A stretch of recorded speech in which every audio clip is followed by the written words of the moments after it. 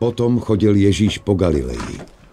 Nechtěl chodit po Judsku, protože mu židé ukládali o život. Byli blízko židovské svátky stánků a jeho bratři mu řekli, jdi odtud do Judska, aby tam tvoji učedníci viděli skutky, které činíš. Nikdo nezůstává se svými skutky v ústraní, chceli být známý. Činíš-li takové věci, ukaž se světu. Ani jeho bratři v něj totiž nevěřili. Můj čas ještě nenastal. Ale pro vás je čas stále vhodný. Vás nemůže svět nenávidět, mne však ano, protože ukazuji na jeho zlé skutky. Vy na svátky jděte. Já na tyto svátky nejdu, protože můj čas se dosud nenaplnil. To jim řekl a zůstal v Galileji. Když jeho bratři odešli na svátky do Jeruzaléma, tu šel také on, ale nepozorovaně, aby se o tom nevěděl. Židé ho o svátcích hledali a říkali, kde je. Bylo o něm mezi lidmi mnoho dohadů. Jedni říkali, je dobrý, jiní říkali, není, vždyť svádí lid. Nikdo ovšem ze strachu před Židy o něm nemluvil veřejně. Když už bylo uprostřed svátků, vstoupil Ježíš do chrámu a učil. Židé se divili a říkali, Jak to přijde, že se tak dobře vyzná v písmech, když se neučil? Mé učení není mé, ale toho, kdo mě poslal. Kdo chce činit jeho vůli, pozná, zda je mé učení z Boha, nebo mluvím-li sám za sebe. Kdo mluví sám za sebe, hledá svou vlastní slávu. Kdo však hledá slávu toho, který ho poslal, ten je pravdivý. A není v něm nepravosti. Nedal vám Mojžíš zákon? A nikdo z vás zákon neplní. Proč mě chcete zabít? Jsi posedlý zlým duchem? Kdo tě chce zabít? Jediný skutek jsem učinil. A všichni se divíte. Mojžíš vám dal obřízku, ne že by pocházela teprve od Mojžíše, je od praotců. A vy obřezáváte člověka i v sobotu. Přijímá-li člověk v sobotu obřízku, aby byl dodržen Mojžíšův zákon, proč se nám nezlobíte, že jsem v sobotu uzdravil celého člověka?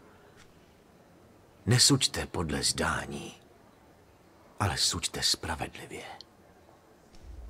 tu řekli někteří jeruzalémští. Není to ten, kterého chtějí zabít. A hleďte, mluví veřejně a nic mu neříkají. Pane, pane, Snad nedošli přední muži opravdu k poznání, že je to Mesiáš. Ale o tomto člověku víme, odkud je. Až přijde Mesiáš, nikdo nebude vědět, odkud je. Tu Ježíš, když učil v chrámě, hlasitě zvolal. Znáte mě. A víte také, odkud jsem. A přece jsem nepřišel sám od sebe. Ale poslal mě ten, který je pravdivý. Toho vy neznáte, já však ho znám, neboť jsem od něho. A on mě poslal. Tehdy se ho chtěli zmocnit. Ale nikdo na něj nevstáhl ruku, neboť ještě nepřišla jeho hodina. Ale mnozí ze zástupu v něj uvěřili. Až přijde Mesiáš, bude snad činit více znamení než on? Farizeové se doslechli, že se to v zástupu o něm říká. A tak společně s velekněžími poslali chrámovou stráž, aby ho zatkli.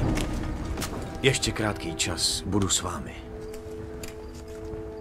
Pak odejdu k tomu, který mě poslal. Budete mě hledat, ale nenajdete. A kde jsem já, tam vy přijít nemůžete. Židé si říkali mezi sebou, kam hodlá jít, že ho nenajdeme.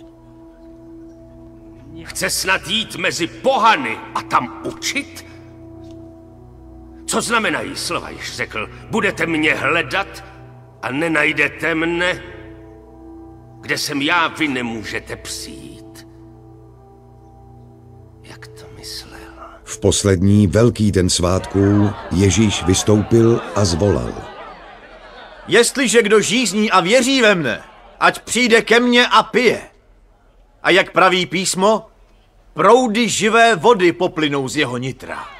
To řekl Ježíš o duchu, jejž měli přijmout ti, kteří v něj uvěřili. Dosud totiž duch nebyl dán, neboť Ježíš ještě nebyl oslaven. Když někteří ze zástupu slyšeli ta slova, říkali, To je skutečně ten prorok. Což přijde Mesiáš z Galileje? Neříká písmo, že Mesiáš vzejde z potomstva Davidova a z města Betléma, odkud byl David. A tak došlo v zástupu kvůli němu k roztržce. Někteří z nich ho chtěli zadržet, ale nikdo na něj nevstáhl ruku. Chrámová stráž se vrátila k velekněžím a farizeům a ti se jich ptali. Proč jste ho nepřivedli? Ještě nikdo nikdy takto nemluvil. I vy jste se dali svést. Uvěřil v něj někdo z předních mužů či farizejů. Jen tahle chátra, která nezná zákon.